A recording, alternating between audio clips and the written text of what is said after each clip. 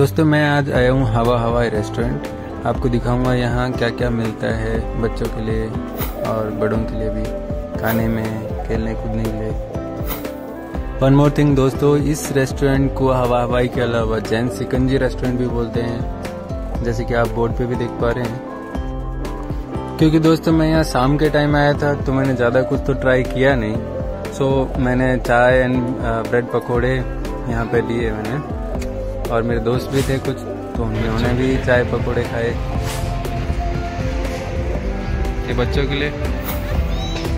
ये भी बच्चों के लिए। जय हिंद दोस्तों फिर मिलेंगे दूसरे वीडियो में। अगर आपको पसंद आया तो प्लीज़ लाइक करें।